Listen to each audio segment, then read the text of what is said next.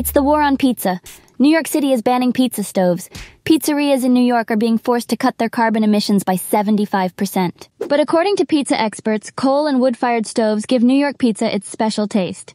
The city is forcing them to install scrubbers that cost up to $20,000 each, plus cleaning every three weeks. I guess even pizza isn't safe from a price hike these days. What a pepperoni predicament.